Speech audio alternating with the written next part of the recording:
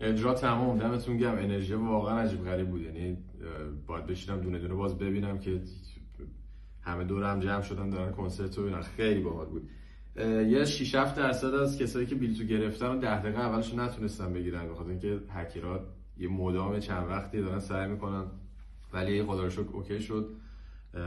بقیه‌اش رو همه دیدن. و اینکه ما خواهش کرده بودیم ویدیو کسی جای نذاره خب یه سری دارن پخش می‌کنن طبق معمول. به خاطر همین ویدیو edit شده با یه سورپرایزی تهش یا آهنگ اضافه گذاشتیم تهش. اونو داریم میفرستیم به تمام کسایی که بلیتو گرفتن کسایی که ایمیلشون هست.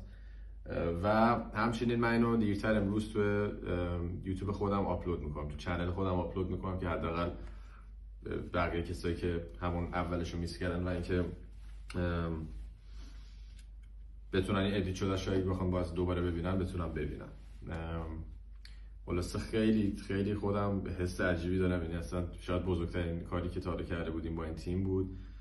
دم کل تیم گم گیتاریران جعفری عزیز شاهین نیما آرش برنا سروش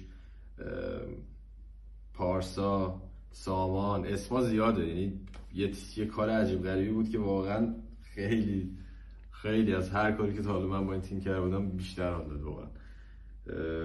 به امید کار خفنتر و بهتر.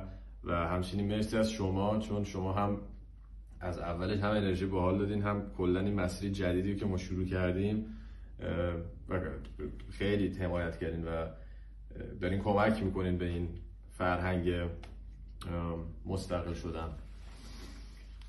دیگه بریم ببینیم داستان چیه. پس به زودی هم ایمیل دریافت می‌کنین همین که می‌تونین از channel من از یوتیوب channel من کنسرت و edit شده شو ببینین.